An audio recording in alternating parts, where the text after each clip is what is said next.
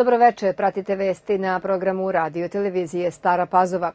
Prvi potpredsednik vlade i ministar spoljnih poslova Srbije Ivica Dačić izjavio je danas da postoji sinhronizacija između događaja na unutrašnjoj političkoj sceni i onoga što premijer privremenih prištinskih institucija Albin Kurti radi vezano za srpski narod na Kosovu i Metohiji sigurno će pokušavati da dođe do nekih novih incidenata, do eskalacije, a potom i do pokušaja da se dođe do deeskalacije i da se tako vrtimo u krug i da oni non stop optužuju Beograd za obstrukciju. Mislim da svima treba da bude jasno da je Beograd taj koji je konstruktivni faktor u svemu ovome, rekao je Dačić gostujući na TV Prva.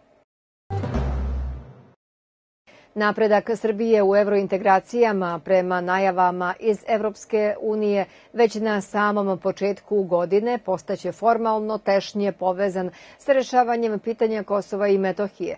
To je od Evropske komisije zatražio Savet za opšte poslove, a potvrdio Evropski savet.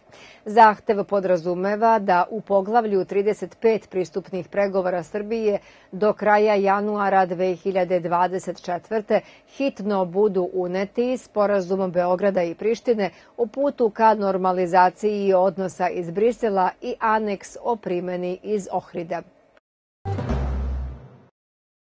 Vlada Srbije usvojila je danas uredbu o dodeli 100.000 vouchera za subvencionisani odmor u zemlji, kojom se maksimalna vrednost vouchera povećava sa 5.000 dinara na 10.000 dinara, saopštilo je Ministarstvo turizma i omladine. Prijavljivanje građana za korišćenje vouchera počeće 15. januara 2024. na šalterima Pošte Srbije.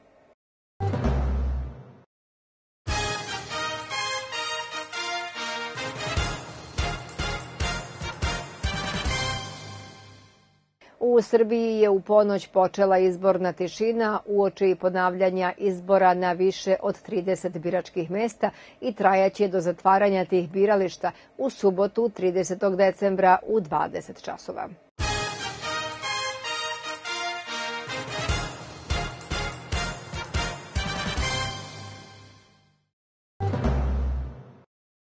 Danas je održana 29. godišnja skupština Društva za afirmaciju invalida Feniks u klubu za dnevni boravak u Staroj Pazovi.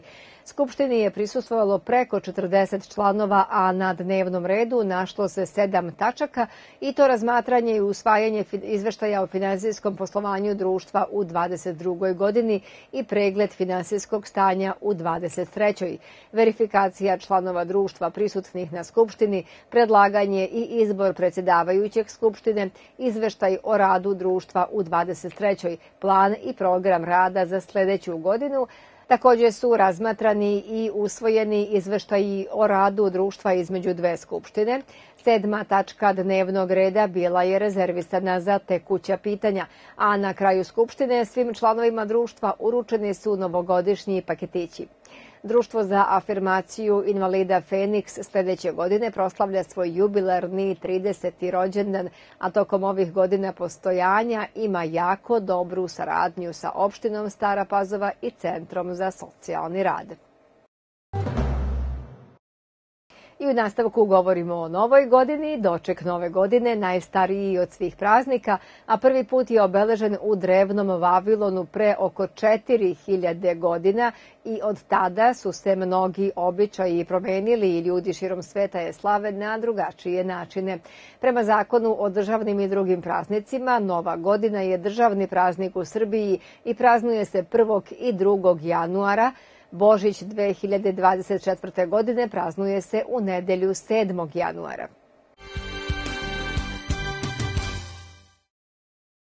Pobedom nad Spartakom u prvom stepenu kupa i nakon odustajanja proletera iz takmičenja, Dunav se plasirao u drugi stepen, završnicu na nivou Srbije u kojoj učestvuje osam klubova po dva iz svakog regiona. Voljom Šreba, Dunav se u četvrtfinalu na svom terenu sastao sa dinamikom iz Beograda. Na ovoj utakmici triumfovali su gostujući Dorčolci savladavši Alase sa 114-62. Oni će u polufinalu odmeriti snagu sa ekipom Čačak 94 Kvantoks. Finalisti drugog stepena kupa plasiraće se na završni turnir Kup Radivoja Koraće.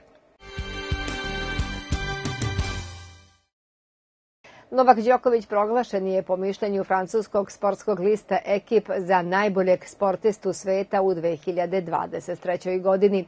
Lider ATP liste je iza sebe i to vrlo ubedljivo ostavio plivača Čiona Maršana i najboljeg automobilistu današnjice Maxa Verstapena. Inače, jedan od najuticajnijih sportskih listova u Evropi i svetu, nagradu za najboljeg sportistu godine dodeljuje od 1946. a glasanje je tajno. Đoković je pre samo nekoliko dana dobio nagradu i za najboljeg sportistu u Evropi.